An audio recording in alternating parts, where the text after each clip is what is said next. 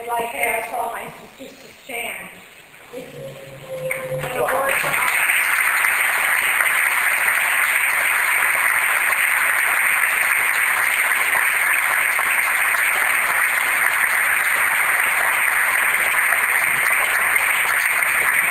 Bishop Listecki and Board of Directors of Catholic Charities, we, your Franciscan sisters, respectfully accept this award in his name. Our standing before you is a witness of our gratitude. Like our founders who came to this country to serve their immigrant brothers and sisters in love, we strive to live simply in gratitude and to be generous with our blessings. We are called to stake everything in charity, living the commandment of a practical and concrete love for every human being. We are grateful for the life we share, for the multiple faces of incarnation that shape our reality through history.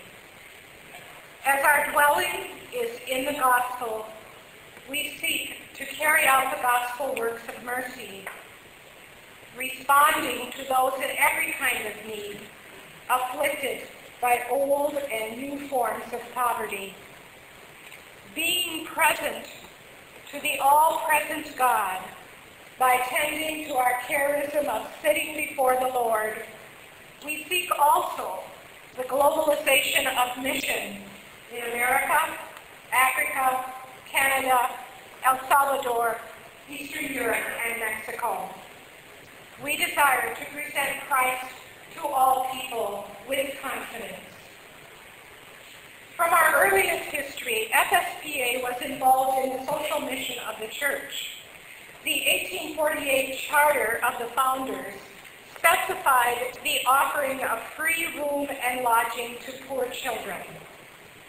Later, our 1869 rule of life stated that the care of orphans, including those who are spiritually orphaned, was central to the ministry of the community along with work in the seminary, education of youth, and caring for the sick in hospitals and infirmaries.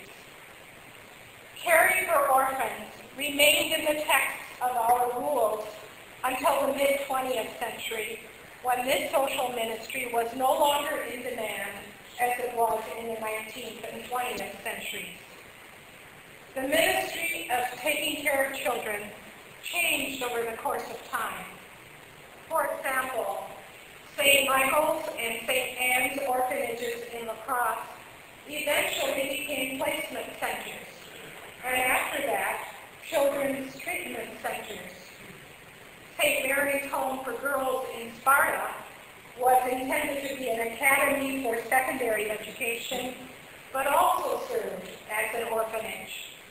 In all, 128 years of our 159-year history were given to serving children at risk. Literally, hundreds of sisters dedicated their lives from 1854 at St. Aemilian's Boys Orphan Home in Nojoshing to 1982 when St. Michael's in La Crosse closed. By the middle of the 20th century, some 5,000 children experienced the sisters' love in the place of their lost parents and family. The children were affectionately known as Sister Morella's boys and Sister Fabian's girls, Sister Theodata's girls, or Sister Dolorese's boy. there she is.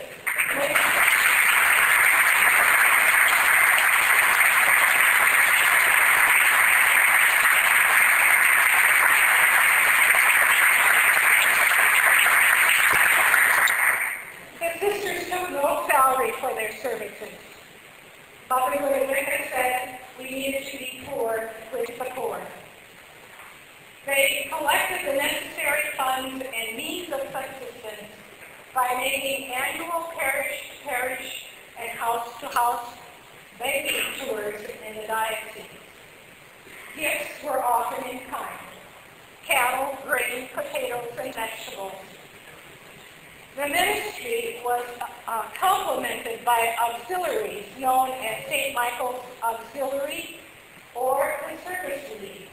And I'm wondering if there's anybody in the audience today that might be related to Mrs. Albert Funk, or Connie Sounder, or Pat Scamp, or Elsie Root, or Kitty Marco, or Manny Welsh.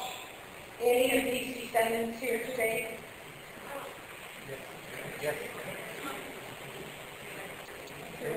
These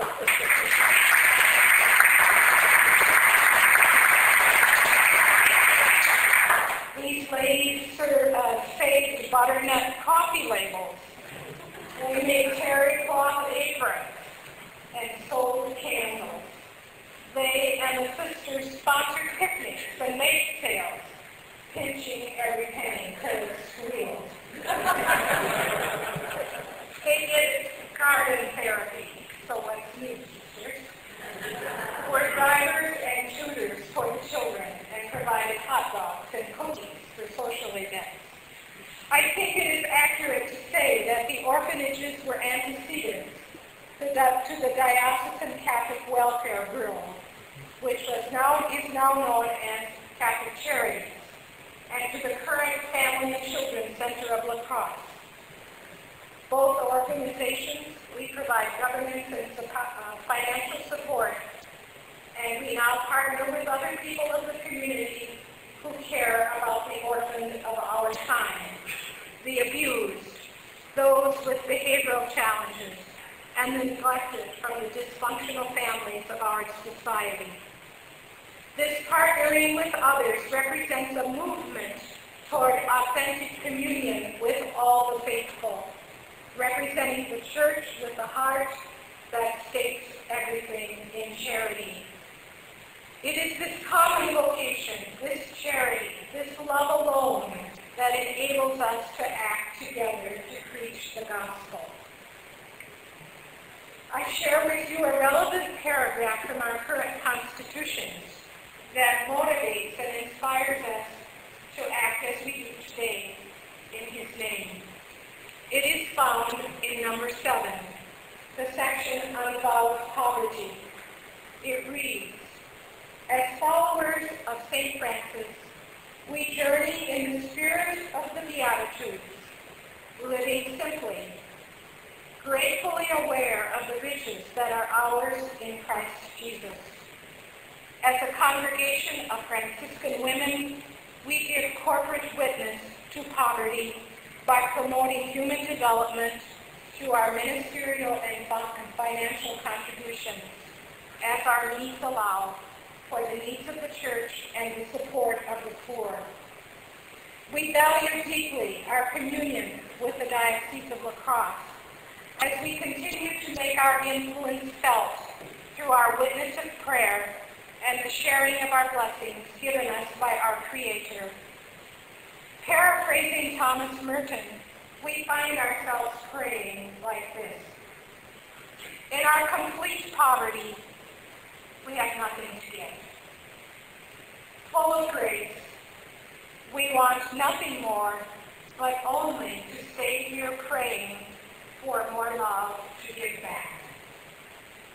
God speaks loudly in the depths of our indigence, saying, I will pour out my spirit upon thy children, and they shall spring up among the herbs as willows beside the running waters.